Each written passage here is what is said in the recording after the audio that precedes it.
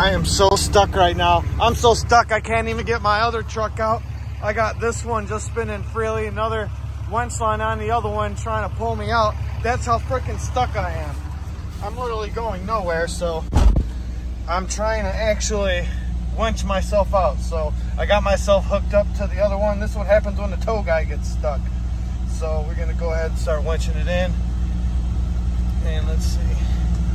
The, tow guy actually does get caught every once in a while.